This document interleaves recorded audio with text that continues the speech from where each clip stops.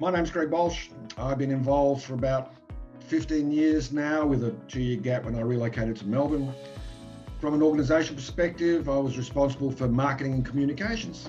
In that role, I led the rebranding from the original WA IT&T Awards, WIDA, to the current INCITE Awards, and also our entry into social media, bringing in such local luminaries as Ming Johansson and Joe Saunders to lead the expansion of our digital presence beyond WA and to more effectively walk the walk regarding the technology, using technologies like LinkedIn, Facebook, Twitter to bring insight to the world.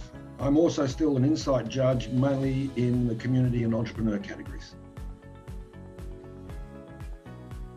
Basically, to promote the WA industry to national and international audiences and markets.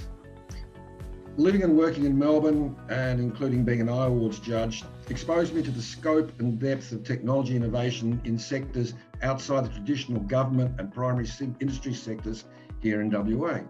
So when I returned to Perth, I was keen for the INCITE Awards to be an effective elevator for WA innovators to gain exposure to markets in other states through the National iAwards and to international markets through APICTA. So we introduced the briefing sessions for entrants on how to better present their nominations and to more effectively pitch their innovation to the judges. We introduced the Pitch Fest to give them a chance to refine their pitches and to provide them with the necessary feedback. INCITE winners were also provided coaching on how to effectively pitch their innovation on the national stage in the iAwards. It was so rewarding to see the quality of their presentations continue to improve and for them to be rewarded. The only thing we can be sure of is change. The world outside WA is an amazing place there is so much more out there, so aim high.